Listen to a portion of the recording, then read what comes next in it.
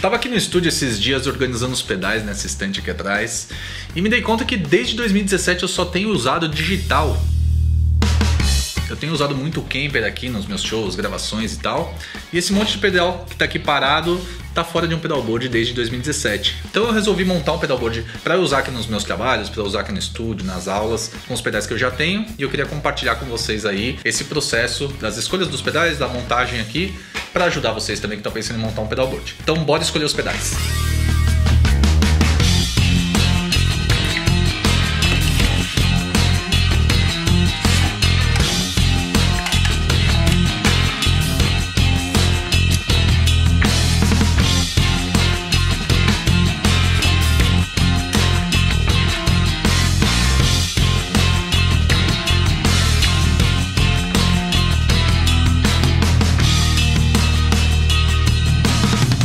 Bom, eu estou aqui então com os pré-selecionados. E pré-selecionados porque, na verdade, eles precisam caber neste board aqui, que é um board da Landscape. Pedalboard não muito grande, então não vai caber todo mundo aqui.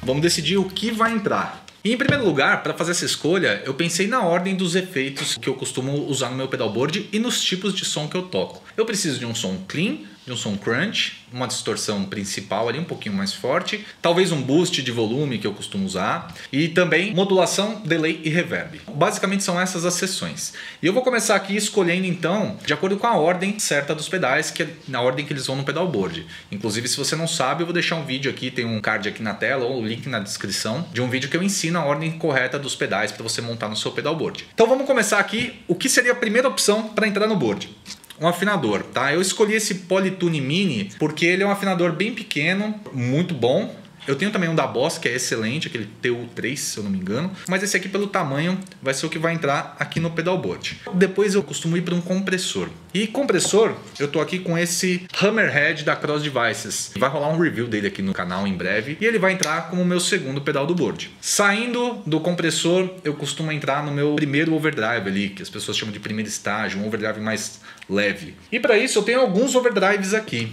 Eu tenho o Tube Screamer, que é um pedal que eu já usei muito, eu uso ele também como boost para empurrar com mais ganho. BB Preamp, outro pedal excelente que eu já usei bastante. O Tony Creamer da Tony Inc. E desses três aqui, eu resolvi escolher o Tony Creamer, porque ele tem a opção já do, do Tube Screamer dentro dele. Então ele é um pedal de boost e também de overdrive. E ele tem essa opção de um som com uma característica Tube Screamer, claro que não é um clone do Tube Screamer, mas ele puxa para essa característica mais médio aqui. E ele também tem uma opção BB preamp aqui dentro. Então acaba sendo esses dois pedais dentro de um. Já uma forma de reduzir o meu pedalboard, né? Então ao invés de colocar o BB preamp e o Tube Screamer, eu coloco só esse cara aqui que ele já faz o papel dos dois. Distorção principal, eu usei por muito tempo o Bogner Red. Mas eu também tô com esse Red Briton aqui, que é um outro pedal da Tony Inc. E ele tem algumas características que me agradam bastante, assim, de som, além de várias opções aqui, de ter o BB Preamp também, o Angry Charlie, que é um pedal que eu gosto bastante. Então ele tem algumas características, algumas possibilidades de timbres que eu acho que vai se encaixar super bem aqui para ficar com uma distorção só, bem versátil, caso eu queira diferentes configurações. Então acho que meu par de distorção vão ser esses dois caras aqui. Aí, depois das distorções, eu costumo usar um boost de volume. Eu gosto de ter um boost que aumente o meu volume no, na hora dos solos. Eu tenho esse cara aqui, que é um boost de volume da Custom Audio. Esse pedal aqui é muito bom, é um boost bem clean, ele só serve para aumentar o volume mesmo na hora do solo, mas eu gosto demais dele. Saindo do boost, eu chego nas sessões ali de modulações.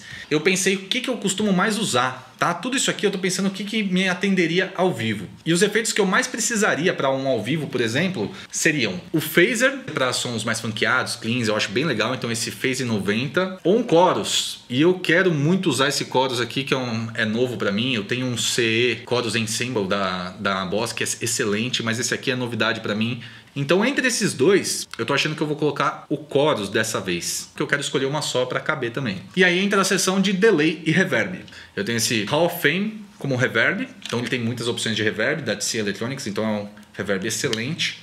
E o Flashback Delay também, que para quem já, já conhece aí os pedais da TC, é um pedal também excelente com vários tipos de delay em um só. E dessa forma eu tenho a minha seção de clean, overdrive, distorção, boost, delay e reverb. Vamos descobrir agora se vai caber todo mundo aqui no pedalboard.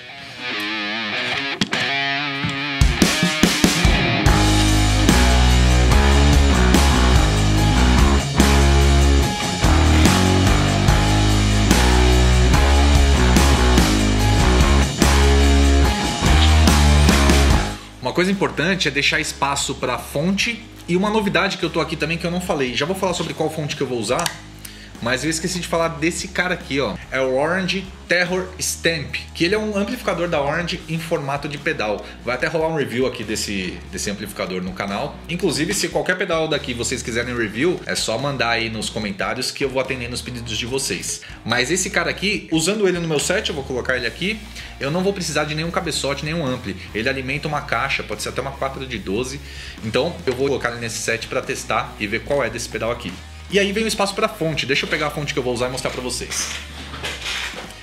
A fonte que eu escolhi para esse pedalboard é a ISO Power 7. Tá? E essa aqui é uma fonte da Landscape, também nacional, fonte excelente. E essa fonte eu escolhi porque eu vou usar aqui pedais analógicos e pedais digitais. E por conta dessa mistura dos dois aqui, é importante ter uma fonte isolada. Inclusive, vocês sabem como escolher a fonte para o pedal, pedalboard de vocês? Na verdade, você precisa saber qual é a fonte correta para alimentar os pedais. Então, se vocês não sabem aí, me conta aqui nos comentários que aí eu faço esse, esse vídeo específico para ensinar vocês e vocês escolherem a fonte certa para não queimar nenhum pedal nem nada. Uma dica bem legal quando vocês forem colocar o pedal de vocês no pedalboard com velcro, não precisa usar muito velcro, mas quando vocês colocarem ele em cima, dá uma chacoalhada nele assim ó pro lado, que ele fixa bem e ele firma. Então é a melhor forma dele não escapar. A princípio coube todo mundo. E aí vem a parte mais chata, que é cabear tudo, passar os cabos de força para ver se realmente os cabos vão chegar. Eu, como eu falei, eu tô aproveitando tudo que eu já tinha aqui no estúdio. Então, até os cabos de pedais eram os cabos do meu, do meu antigo pedalboard lá de 2017. Testei todos, estão todos funcionando. Então vamos ver se eles conseguem unir todo mundo aqui e vamos ver o que, que vai dar.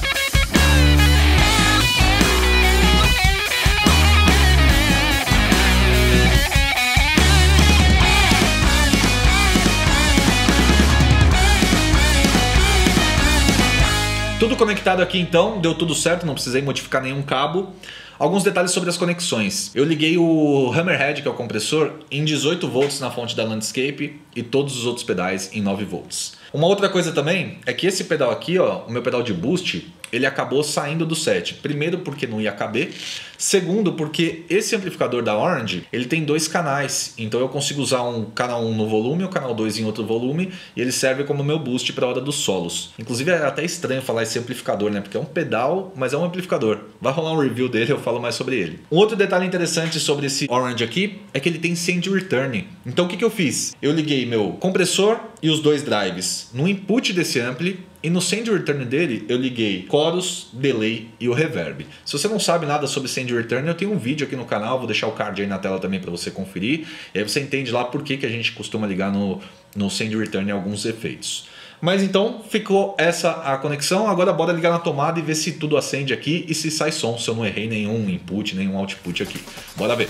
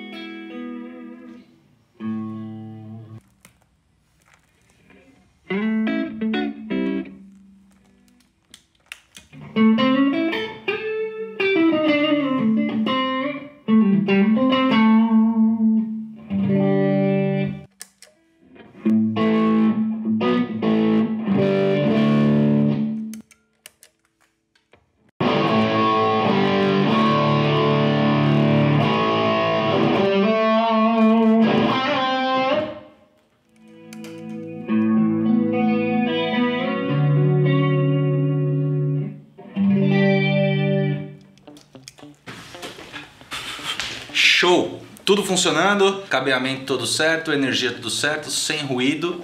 E agora, para vocês conferirem uma demonstração completa desse pedalboard, eu vou precisar microfonar o ampli, timbrar certinho, porque eu só conectei os pedais do jeito que estavam ali. Então, para fazer isso, o vídeo vai ficar muito longo, eu vou deixar para um próximo vídeo. Mas valeu que você que chegou até aqui, espero que você tenha curtido, não deixa de conferir o próximo vídeo de demonstração desse pedalboard. Se inscreve no canal, deixe seu curtir, seu comentário. Se quiser review de algum pedal específico, deixa aí no comentário. E tamo junto que agora eu vou me divertir ali com o pedalboard novo. Vamos que vamos, a gente se vê no próximo vídeo. Valeu!